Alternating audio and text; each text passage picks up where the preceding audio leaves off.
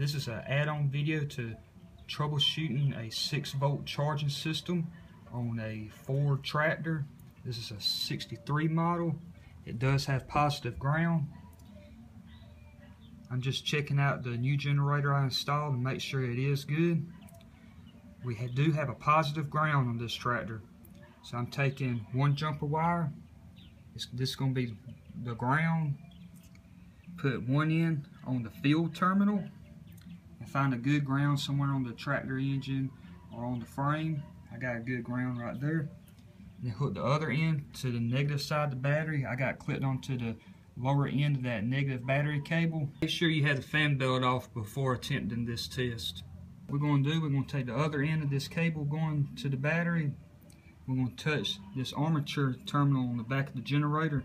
And when we do that, the pulley is going to start spinning.